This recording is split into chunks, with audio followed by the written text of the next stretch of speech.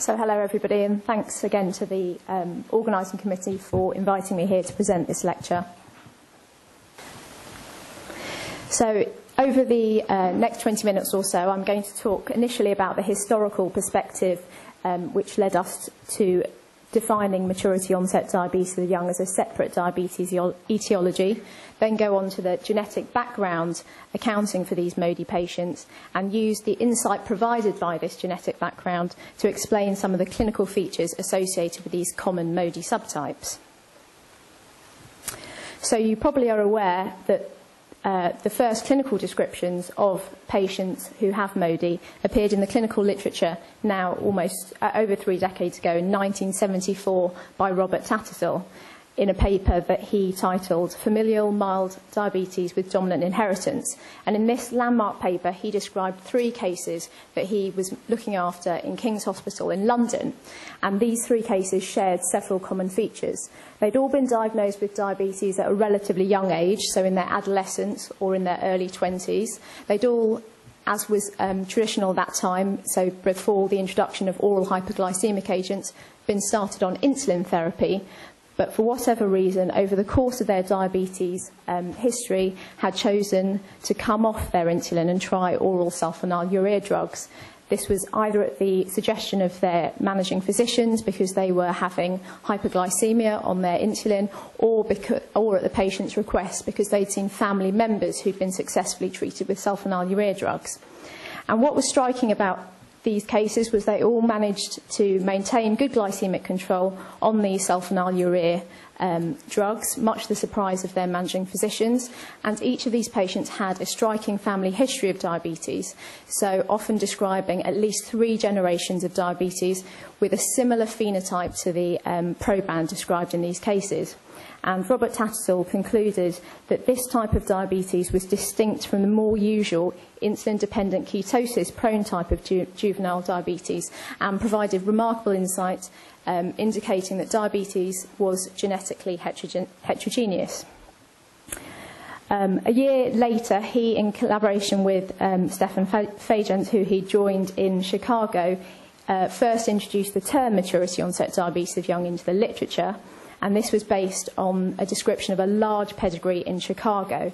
And again, this family shared similar features to the cases that he described one year earlier, and they defined maturity onset diabetes of the young based on three clinical features. So this was early onset diabetes in at least one family member, usually diagnosed before the age of 25, the presence of non-insulin dependent diabetes, so that these patients were able to main, maintain good glycemic control off insulin for at least two years, or in those that had started on insulin had some evidence of being able to produce insulin of their own um, outside the honeymoon period, and had a strong family history of diabetes, um, and, which was suggestive of an autosomal dominant pattern of inheritance. So this pattern of inheritance raised the possibility that this was a single gene disorder, a monogenic disorder.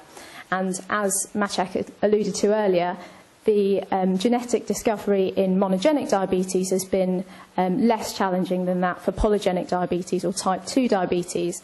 And this was partly facilitated by having access to large um, families of several generations with a similar phenotype, and also facilitated by the fact that MODY um, and other monogenic disorders were caused by a single gene which was highly penetrant in the family members um, that had this gene defect. The first gene that was described in association with MODY was glucokinase gene, and this was described um, concurrently in a British and a French family. And glucokinase had been um, identified as a possible candidate gene, and I'll go on to speak about why this um, was a good candidate based on the pathophysiology associated with glucokinase. Um, and a few years later, um, after, after susceptibility loci in uh, chromosomes 12 and chromosomes 20 had been linked to MODY families.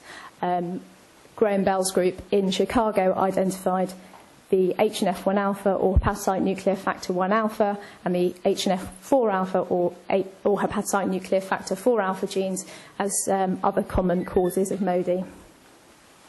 And since uh, now almost two decades ago, there have been at least 10 different genes identified that can cause this MODY phenotype. And the different proportions of the genes involved in MODY varies across the populations involved, but most um, commonly will involve, uh, represented by the green arrow in, a, in about a quarter to a fifth of patients, um, a gene defect in the glucokinase gene, um, and in approximately two-thirds of patients, a gene defect in genes that encode nuclear transcription factors. And this will most commonly involve the hepatocyte nuclear factor 1 alpha gene or HNF1 alpha gene, and in a smaller proportion of patients, so 5 to 10% of patients, the hepatocyte nuclear factor 4 alpha gene. I've also noted down three other genes that encode nuclear transcription factors that can cause this MODY phenotype.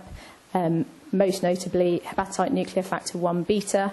There are also some rare causes of the MODY phenotype, um, so the insulin gene, the CEL gene, and you'll also notice by the orange arrow there's a small proportion of patients um, who, who seem to have the MODY phenotype that we refer to as MODY X patients, where the underlying gene uh, cause has not been identified.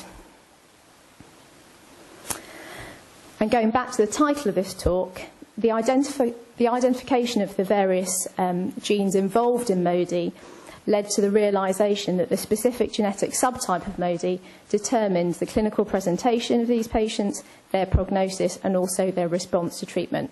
And it was only when the genetic basis was um, identified that this had been realised. Prior to that, the clinical descriptions of MODY um, tended to follow the same, same uh, phenotype. So I'm going to take uh, the common MODY subtypes and go through their typical clinical features um, and try and link it back to the um, pathophysiology uh, determined by that gene defect. So firstly, going to start with the glucokinase gene. And you'll know that this encodes the enzyme glucokinase, and this schematic uh, represents the pancreatic beta cell. So the um, glucose uh, from outside the cell is first taken up by the GLUT2 transporter, and the glucokinase enzyme catalyzes the first stage of this glycolytic pathway. And this really is the rate limiting step for the remainder of the pathway. So it, um, the, the change of glucose to glucose 6 phosphate by this enzyme changes the ATP to ADP ratio. This is sensed by a ATP sensitive potassium channel, leads to its closure. This depolarizes the membrane, leading to an influx of intracellular calcium, and then this allows exocytosis of insulin. So you can see that glucokinase is a, a key regulatory enzyme in this pathway. And because of its rate limiting step, it's been referred to as the pancreatic glucose sensor. And mutations um, in this gene lead to a change in the kinetics of this enzyme. And that's represented by this schematic. So we've got insulin secretion on the y axis and plasma glucose on the x axis and this represents the um, kinetics of the enzyme in the wild type. So that the maximal activity is usually at the middle of this slope, and that will equate to uh, a normal plasma glucose of between 5 and 6. So as the plasma glucose increases above that level, the insulin secretion will increase, and that will pull back down the um, plasma glucose. Similarly, if the glucose drops below that level, the insulin secretion rate will drop off allowing the glucose to normalise. In the case of the um, mutation carriers, the kinetics of the enzyme shift um, towards the right so that the maximal activity on this curve is reset at a higher level, more around the 7 level compared to the wild type at around 5. So the primary defect in glucokinase MODY is primarily beta cell um, driven and is a defect, as, as I've explained, in glucose sensing by the beta cell. And insulin secretion is therefore um, initiated at an elevated glucose level, so about 2 millimoles higher than the wild type enzyme. And so essentially, these patients still have a regulated glycemia, and they really represent the only patient group with diabetes that are still able to respond to extremes of glucose. And this pathological defect really explains the clinical features associated with this type of MODY. So these patients have mild fasting hyperglycemia, as you might have predicted. So with a fasting plasma glucose that's elevated, usually between 5.5 and 8.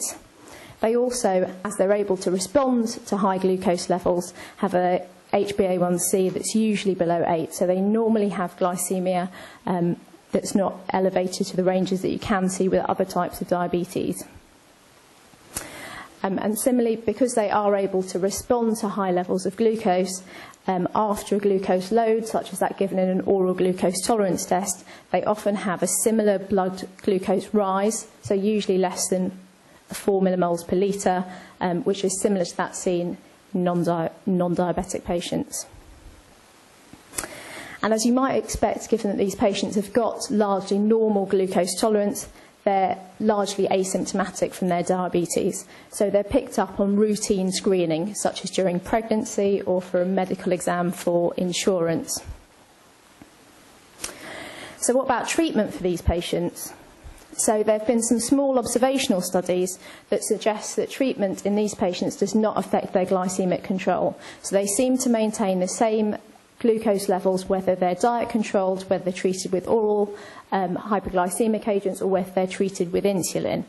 Um, and that's, as you might predict again from the pathophysiology of defect of, the, of these patients, their insulin, they are still able to respond by producing insulin of their own. So by adding in insulin or adding in hypoglycemic agents, um, it doesn't really affect that, uh, that defect. So in general, we advise that anti-diabetic medications don't need to be used in these patients with the exception of pregnancy. And usually these patients do not need to be followed up in secondary care, so do not need to see hospital specialists. And um, we would recommend annual monitoring of their glycemic control by their general practitioners. In terms of prognosis for these patients, it's actually very good. Um, so again, observational studies suggest that there's a very low level of microvascular complications. And there was a recent abstract presented at the diabetes um, conference in the UK, which of about 100 patients with glucokinase MODY who were followed up for um, an average of 50 years, there was very few patients who had evidence of retinopathy or nephropathy. There's not um, any large studies in terms of macrovascular um, outcomes for these patients, but it's likely that it's um, similar again to the background population. And these patients have glycemia that tends to remain stable from birth uh, to death essentially doesn't progress over their lifetime. Um, with the exception that they can develop type 2 diabetes on top of that if they become obese and therefore insulin resistant. And so it's important to warn your patients about that um, in terms of maintaining their diet and weight. So I'm going to now compare the clinical features that we've seen with glucokinase MODY with um, those seen in transcription factor MODY, so due to HNF1 alpha and HNF4 alpha mutations. So these genes, as I mentioned, encode nuclear transcription factors, and that obviously is important for the expression of genes in various different tissues, but in the case of HNF1 alpha and HNF4 alpha, it's particularly important in the liver, kidney, and the pancreas. and it's not entirely clear how mutations in these genes cause diabetes as a phenotype, but um, it's likely that it affects both the development of the pancreatic beta cells and also the function of the pancreatic beta cells during life in terms of uh, disrupting expression of beta cell genes.